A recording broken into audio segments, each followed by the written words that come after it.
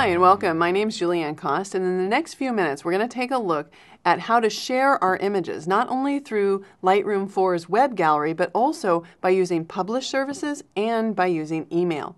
So let's get started. I have a collection here in the library module, and I'm going to scoot over to the web module by simply clicking on that module in the module picker. Now, there are a variety of different kinds of web galleries that we can make. You can make an HTML gallery or a Flash gallery, and we also have some additional galleries that we ship by default. So, for example, this airtight poster card viewer is pretty cool. It kind of lays out all of your images as a postcard. And you can come down here to the appearance area and you can tell it maybe that you want a few more columns and maybe you want your photo borders more or less or the padding more or less. And then watch, when you click on an image, it zooms up that image. Click again and it'll zoom back. But you might want to go with something maybe a little bit more traditional. So let's go back to the layout style and let's take a look at the Lightroom Flash Gallery. And one of the things that we improved in Lightroom 4 is all of these Flash galleries are now color managed. So you can see that when I select a gallery, we then have all these additional options here on the right hand side. So let's take a look at some of the different panels. You can change the site title right here. So if I wanted to maybe call this my Ireland gallery, and my collection might be photography by Julianne Kost.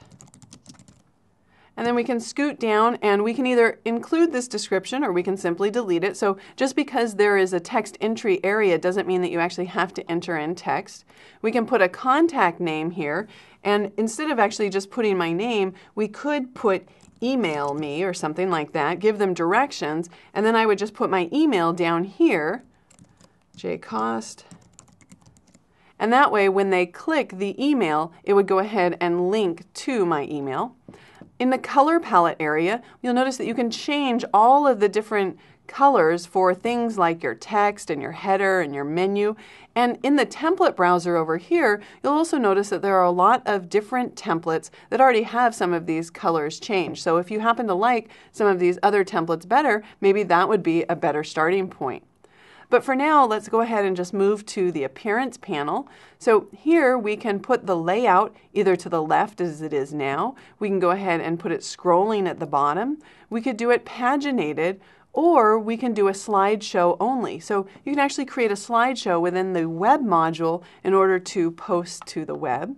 We can add our identity plate, which adds either a graphical or a text identity plate up here in the upper left. And we can see that I can change that out by either clicking here and selecting one of my presets or going to the edit menu here and then entering in either whatever text I want or using a different graphic. But for now, let's just go ahead and leave it. I'm actually going to turn it off. We have control over our large images and our thumbnail images. Now to show this, let's go ahead and move back maybe to the scrolling option here. And I'll leave the large image size alone, but let's change the thumbnail size, maybe take that down to medium so that we can see a few more images at one time down along the bottom. We can also change our image info and here you'll notice by default that I can show a title and a caption, but we can change that right here because I might not have entered in titles for my images or captions in my images because this information Lightroom is getting from the metadata of the file. So maybe instead I just want to show my file name there. And now you can see that that file name appears underneath the image. As far as output settings go, we can determine the quality of compression on those large images. We can decide what metadata we want to include in the file. Of course, if we choose to only do the copyright, the file size is probably going to be a little bit smaller. And we can also choose to add a watermark, which you can see down there in the left-hand corner. And we can change that template as well, just like we did the identity plate. And we can use either text or graphics. And we can choose to sharpen all of these images, either low, standard, or high. Once we've got our template all set up, then we go down to the upload settings and we go ahead and create a preset with all of the information that we need to upload this gallery to our website. All right, so that is the Flash gallery. If we go back to the layout style, you'll notice there's also an HTML gallery. And the HTML gallery is just going to differ a little bit in as far as what options you have. So again, I could go over here and change the site title. I can also change the site title right in line here. So I could put photography by Julianne and then maybe change this title here to Ireland 2011 and so on. So I can either change the text or if I delete the text, then it will just kind of move up my image area next to the text that is there. I can change my contact name like we just saw before. I can add an identity plate. We can change the different colors. I can change the appearance. So maybe in my thumbnail view, I want to see more thumbnails. Right now, I'm actually looking at a larger image, so let's go back to the index so that we can see the grid there of the index. And you can see I can make that as wide or as deep as I want to, or we can just leave it very small if we think maybe our viewers are going to be on smaller monitors. We can turn on or off these cell numbers. We can add photo borders if we want. And we can change the image pages as far as the size here, as well as the photo borders down here. So lots of things that you can change. We go to the image info, that's the same for HTML and Flash. Output settings are the same, and upload settings are the same. The key is once you've created the template that you like, if you want to use this template with other sets of images, then you would save that template in the template browser. If you want to save this specific template with these specific images in them, then you would create a saved web gallery. So we'll click on that and we'll call this Web Gallery Ireland. And we'll save it inside my collection set called Ireland.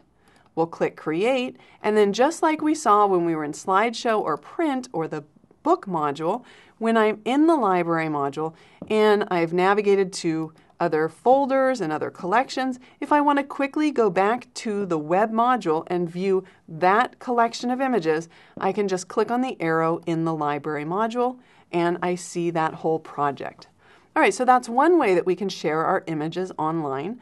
Another way we can do that is if we return back to the library module we have a variety of different published services. Now, by default, we have one set for the hard drive. So if I just want to automatically publish images to my hard drive, um, maybe I want to sync them with my phone or something like that, I can do that by just going here to the Publishing Manager and setting up a publishing settings for my hard drive. Today what I'm going to do is I'm going to set one up for Facebook, but we could also set it up for Flickr and we could find more services online. So if you're using a different method of sharing, you can click there and see if there is software created that will help you share directly from Lightroom to that online service. But for now, let's go and walk through the setup for Facebook. Now, because I've already authorized this account before and then I deleted it, Lightroom knows that and I'm already logged in on my Facebook page, so it authorized me automatically. Now, I want to upload these to a specific album, so I'll go ahead and select one from one that I've already created. I could also create a new album here if I wanted to. And I'm going to choose to use the name of the file as the title for Facebook.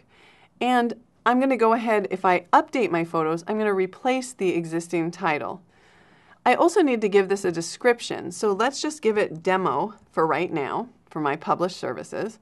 And then I'm going to leave my file naming the same so that my images on disk are the same name as the ones that I published to Facebook. I'm going to go ahead and say that it can update video even though I don't have any video right now included. I'm going to set my file settings to JPEG obviously and then the quality to 80. If I wanted to, I could limit the file size to a specific number. For, for now, I think 80 is going to be fine.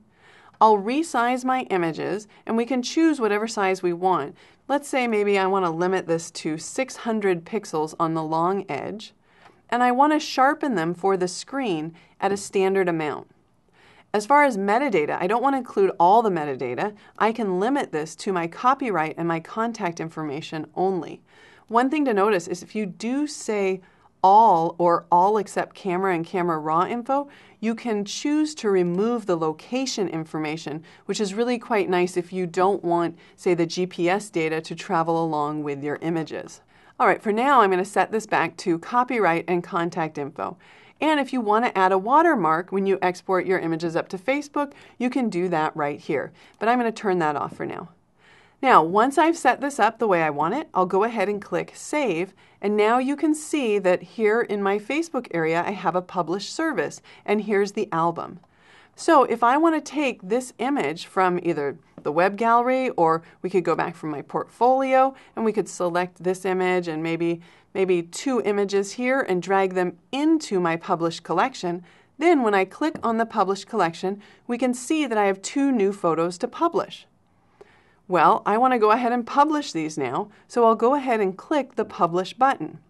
The great thing about Publish Services is that not only does it publish it directly to my Facebook page, but it also keeps track of what I have published so that in the future there's really I don't have to go up to my page and wonder, hmm, how long ago did I publish and have I published that image?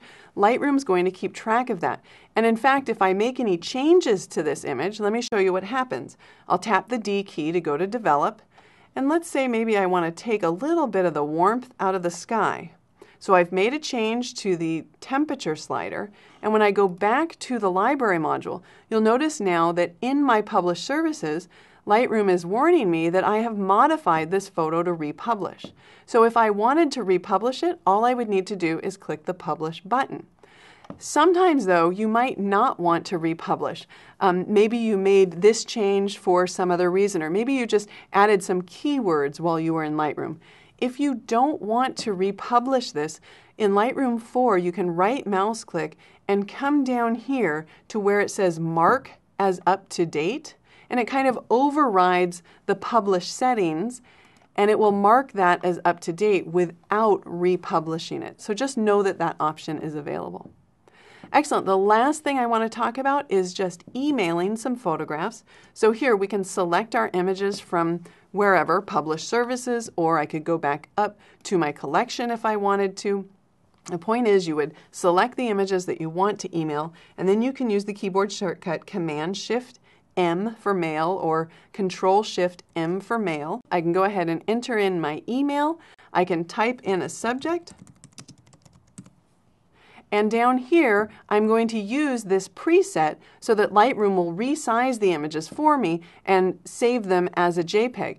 And we have these four different presets here, which I think will probably meet everybody's needs. But if you want to create your own preset, you'd go down to Create New Preset. It takes you to the Export dialog box and sets the export to email to kind of help you by limiting your um, image format to JPEG so you don't accidentally send like you know, a 10 megabyte file through email. We could improve the quality here and we can change the size and everything. So you can customize this as much as you want. For now, I'm just going to hit cancel because I actually like these presets right here. I'm going to use the large preset and when I click send, Lightroom will automatically launch my email program and create a new email and attach these two files to that email and address it to me and add in the subject, which I misspelled, so we'll just add an O there, and then I could click send. Well, that wraps up three different ways that you can share your images from Lightroom, either creating a web gallery or by using published services or by emailing. My name's Julianne Kost. Thanks for watching. Thank you.